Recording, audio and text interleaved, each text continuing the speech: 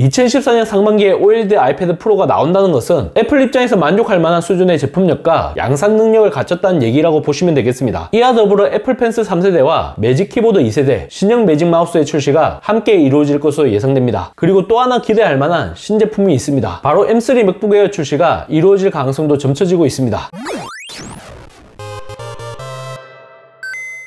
안녕하세요. 비티크입니다. 애플이 결국 칼을 빼들었습니다. 아이패드 판매 부진이 너무 심각해서 대대적인 개편을 추진하기로 결정했다고 합니다. 작금의 아이패드 라인업을 보게 되면 그야말로 중구난방 수준입니다. 10인치 보급형 아이패드 8.3인치 아이패드 미니 10.9인치 아이패드 에어 그리고 11인치 12인치 아이패드 프로로 구성되어 있습니다. 아이패드 10세대를 마지막으로 모든 아이패드의 인터페이스가 USB Type-C 포트로 통일되긴 했지만 여전히 충전기, 키보드, 애플 펜슬 등 액세서리는 모델에 따라 구분되어 나오고 있고 있고 출시 시기도 제각각입니다. 결국 소비자 입장에서는 엄청난 피로도를 느낄 수밖에 없고 신규 모델로 교체해야 할 필요성도 느끼기 힘들어졌습니다. 아이폰 애플워치 같은 경우는 매년 9월 발표되니 교체 시기를 잡기가 매우 편합니다. 중구난방 수준의 출시 시기를 갖고 있는 아이패드는 테크에 웬만한 관심을 갖지 않은 이상 상당히 혼란스러울 수밖에 없습니다. 이와 같은 문제가 겹치면서 아이패드의 연간 매출은 전년 대비 3%가 감소했습니다. 최근 7월에서 9월에는 무려 10%나 줄어들었으니 얼마나 심각한 수준인 수준인지를 잘 보여주지 않나 싶네요. 일단 애플은 숨고르기에 들어갔습니다. 예년과 달리 올해는 아이패드를 선보이지 않았는데 신제품 출시 주기를 조정하겠다는 포석인 것으로 보입니다. 내년 3월에 아이패드 프로와 아이패드 에어가 동시에 발표될 것으로 추정되고 있는데 주목할 부분은 11인치와 12.9인치 두 가지 화면 크기로 출시되어 총 4종의 신제품이 나올 것이라고 합니다. 마치 아이폰 시리즈처럼 일반형과 플러스 모델의 역할을 아이패드 에어가 맡게 되고 프로와 프로맥스 모델의 역할을 아이패드 프로가 맡는 셈이죠. 이전 세대 애플 실리콘을 탑재해 급 나누기를 할 것이라고 하는데 이 역시 아이폰과 판박입니다. 최근 출시된 아이폰 15 일반 모델을 보게 되면 A16 칩이 탑재되었고 아이폰 15 프로 모델에는 A17 프로 칩이 적용된 바가 있습니다. 차기 아이패드 프로에는 M3 칩이 탑재되어 급 나누기를 할 것이라는 게 중론입니다. 아이패드 11세대와 아이패드 미니 7세대의 구체적인 출시 일정은 아직까지 알려지지 않았습니다. 하지만 라인업 정리 차원에서 이 제품들도 같은 시기에 나올 가능성이 농후합니다. 아이패드 에어는 아이패드 프로의 라이트 버전이라고 할 수 있는데 이와 같은 라인업을 구성 하게 나게 된 가장 큰 이유는 아이패드 최초의 OLED 탑재로 인한 충격적인 수준의 가격 인상이 예고되고 있기 때문입니다. 사악한 수준의 가격을 보여주고 있는 아이패드 프로가 최소 100달러에서 최대 200달러까지 인상될 것으로 전망되고 있는 상황이기 때문에 애플 유저들의 엄청난 반발을 살 것이라는 게 불보듯 뻔한 일입니다. 그렇기 때문에 OLED 아이패드 프로는 기본형 모델이 200만원을 넘을 것이다 이런 말도 나오고 있는 중입니다. 사실 아이폰은 애플이 시장을 장악하고 있어 대체할 만한 제품이 마땅하게 있는 게 아니지만 아이패드는 안드로이드 태블릿, 윈도우 노트북, 그리고 크롬북까지 잠재적 경쟁자가 상당히 많이 포진되어 있는 시장이라는 점에서 극명한 차이가 있습니다. 고가 전략을 포기할 리 없는 애플 입장에서는 동일한 화면 크기의 중급기 제품을 포진해 추가적인 선택지를 제공한 것으로 추정됩니다. 아이패드 프로의 화면 크기를 겹치지 않게 배치해야 한다 이런 얘기를 하시는 분들도 있는데 그렇게 하지 못하는 진짜 이유가 바로 여기에 있지 않을까 하는 생각이 듭니다. 문제는 이와 같은 해결법은 근원적으로 중구난방이 되어버린 아이패드 라인업을 간소화하지 못한다는 겁니다. 저 비티크 생각에는 최소 10인치 아이패드와 8.3인치 아이패드를 통합해 8인치 후반 정도의 아이패드 미니로 재설계하는 게 좋지 않을까 하는 생각이 듭니다. 예전엔 7인치 정도의 소형 태블릿이 주류였지만 지금은 스마트폰도 6인치 후반대까지 올라간 상황인 만큼 디스플레이 크기가 좀 더 커져야 할 필요성이 있다고 보여집니다. 레노버 Y700과 같은 소형 태블릿이 폭발적인 인기를 보여주고 있는 것만 봐도 시장이 달라진 걸 잘 보여주지 않나 싶습니다.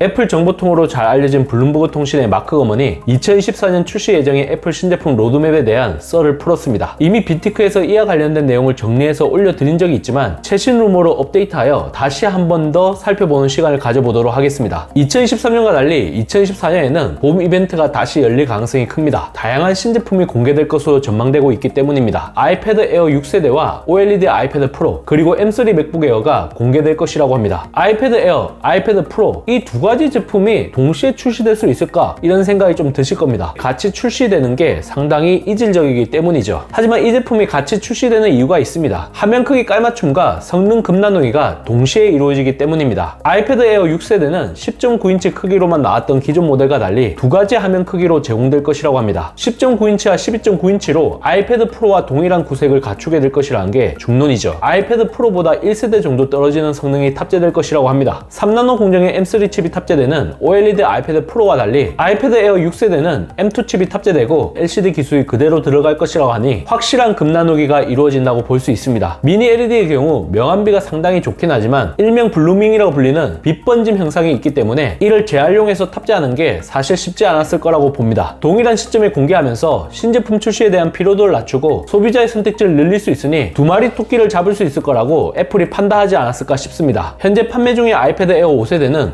599달러부터 시작하고 아이패드 프로 11인치는 799달러부터 시작합니다. 만약 아이패드 에어 6세대 10.9인치가 599달러로 가격 동결이 이루어진다면 새롭게 선보이는 12.9인치 모델의 시작 가격은 중간 정도 가격인 699달러 정도에 책정되는 게 합리적인 추측이라고 보여집니다.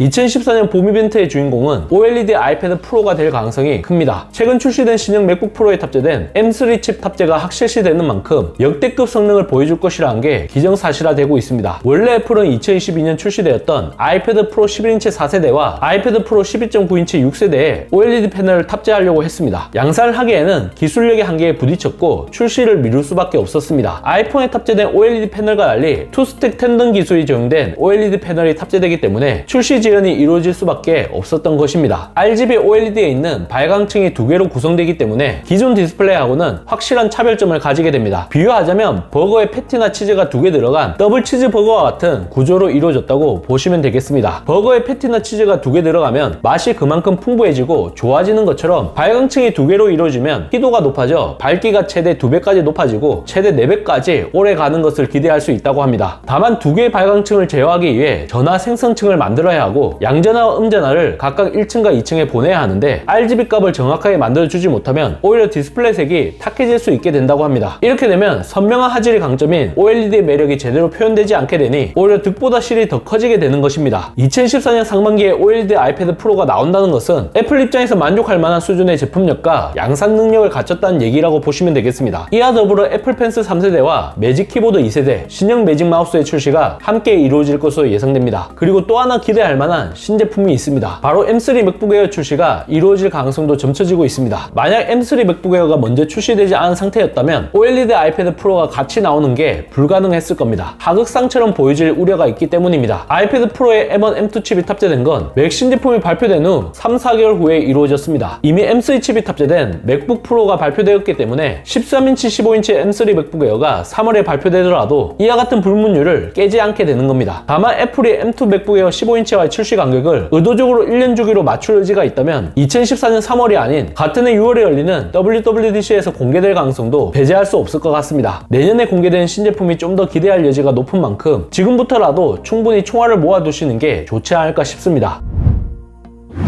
이번 영상을 본 여러분들의 생각은 어떠신가요? 잘 보셨다면 좋아요, 구독, 알림 설정 부탁드립니다. 비티크는 다음 영상에서 찾아뵙도록 하겠습니다. 고맙습니다.